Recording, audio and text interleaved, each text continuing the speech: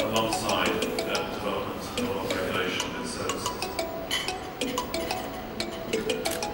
Another way of looking at this data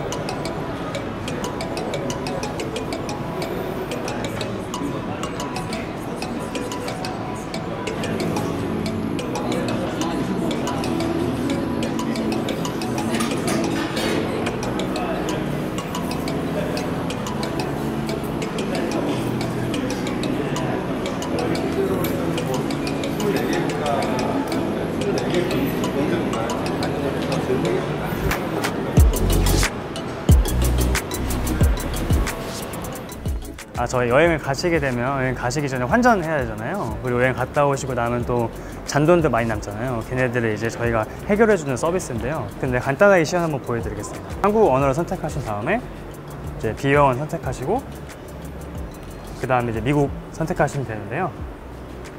5달러, 10달러,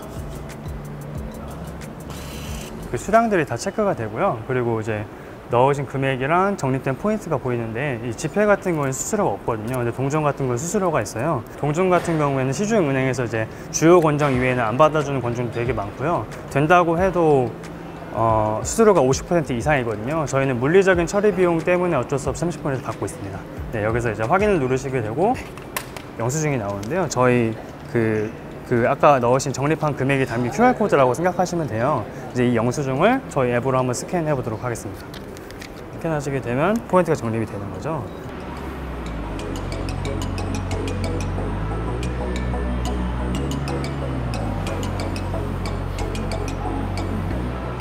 실제로 이 사업 자체가 그 일반 민간 소비 경제에 뭐 잔돈 금융, 잔돈을 잘 활용할 수 있도록 촉진하는 역할을 하기 때문에 그런 부분에 있어서는 저희 서비스가 많은 도움이 될 것이라고 생각합니다.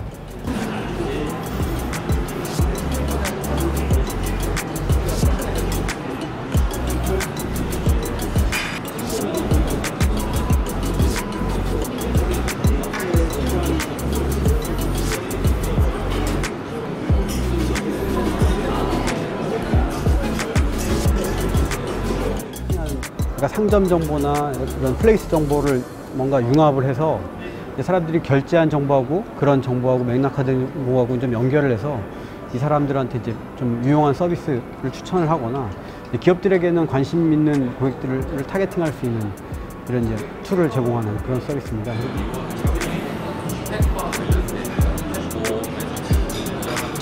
네, 스몰 티켓은 고객과 보험사 사이를 reward로 연결하는 어, 디지털 보험 플랫폼이고요. P2P 보험 어, 어, 플랫폼 서비스를 운영을 하고 있습니다. 그래서 메인 상품으로는 지금 금융위 샌드박스에서 진행하고 있는 어, 건강 증진형 펫보험 서비스와 그리고 어, 시간제 보험이라고 해서 on-demand형 보험 상품을 중심으로 지금 서비스를 진행을 하고 있습니다.